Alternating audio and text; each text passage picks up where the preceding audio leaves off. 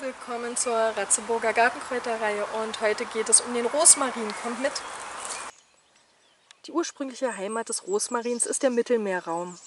Somit mag er kalkhaltige, trockene Böden und er liebt den Sonnenschein.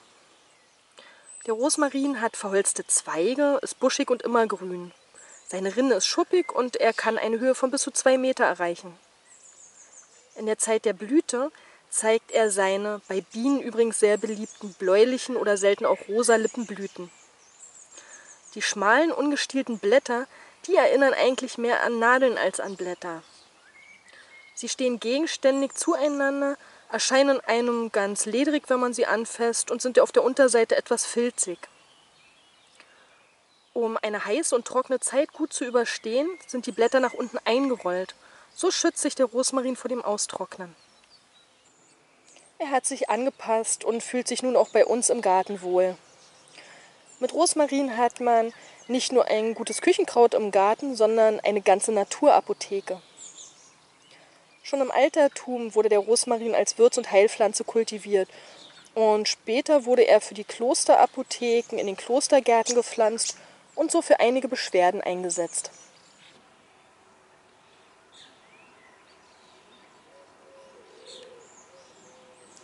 Verwendet werden vom Rosmarin die Blüten und die Blätter. Neben Saponine und Flavone enthält er beispielsweise auch Gerbstoffe, Bitterstoffe und ätherisches Öl, in dem unter anderem auch Kampfer vorkommt. Rosmarin wirkt beruhigend auf die Nerven und hilft bei Erschöpfungszuständen, Kopfschmerzen und Nervosität. Die Bitterstoffe regen die Säfte an und sind daher immer gut anregend und unterstützt für die Verdauung. Somit hilft der Rosmarin auch bei einem Völlegefühl, einem Blähbauch und bei Appetitlosigkeit. Es ist eine innerliche und äußerliche Anwendung möglich. Beispielsweise in Form von Tee, von Räucherungen, Rosmarinöl, Einreibungen oder Bädern. Ein Rosmarinbad wirkt kreislaufanregend und kann Gelenk- und Muskelschmerzen lindern.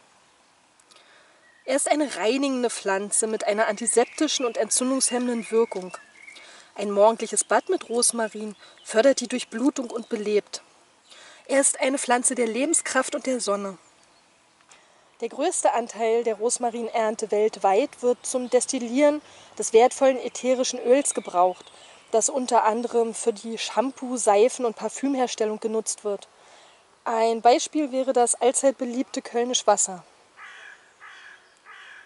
Als Küchenkraut passt der Rosmarin zu Fleischgerichten, zu Muscheln, Suppen und Eintöpfen.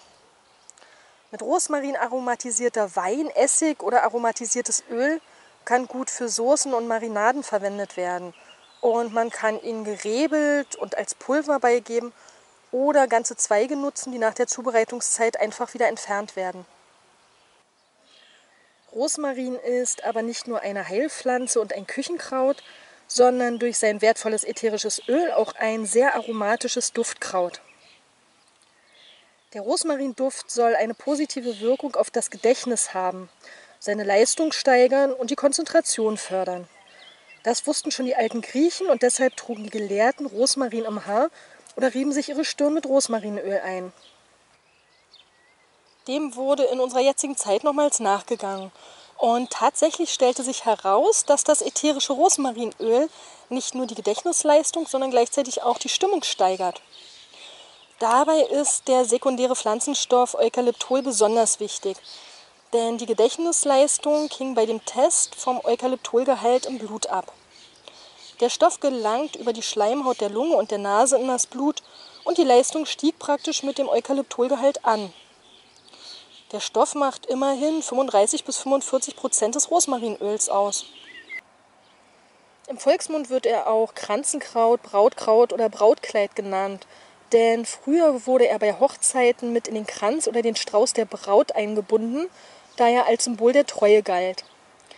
Im 16. Jahrhundert wurden vergoldete Rosmarinzweige mit Bändern geschmückt und bei Hochzeiten an die Gäste verschenkt.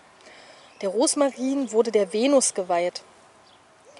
Es wurden aber auch Särge als Zeichen des treuen Gedenkens mit Rosmarinzweigen geschmückt. So ist der Rosmarin eine Pflanze der Treue, der Liebe und der Weisheit. Man sollte es aber mit dem Rosmaringebrauch und mit der Menge nicht übertreiben und gerade in der Schwangerschaft ist es besonders wichtig, dass man bei der normalen Würzmenge bleibt. Gefällt euch unser Kanal? Dann freuen wir uns natürlich, wenn ihr ihn abonniert. Und denkt dran, immer fleißig liken.